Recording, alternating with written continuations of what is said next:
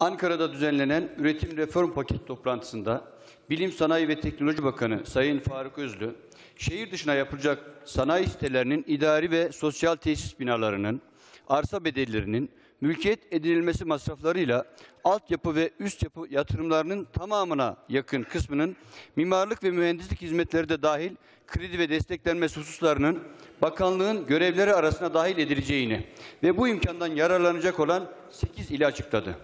Bu illerin arasında yine maalesef Sivas yoktur. Ha bu bizim için Sivas için bir sürpriz olmadı. Cazibe merkezlerine almaları için de defalarca önerdik ama Sivas'ı hep göz ardı ettiler. Şimdi de sanayi siteleri teşvik paketine almadılar. Buradan Sayın Bakan'a sesleniyorum. En kısa sürede Sivas'ta üretim reform paketi içindeki iller arasına dahil ediniz. Sivas olarak iktidarlarınız döneminde üvey evlat muamelesi görmekten bıktık artık. Teşekkür ediyorum.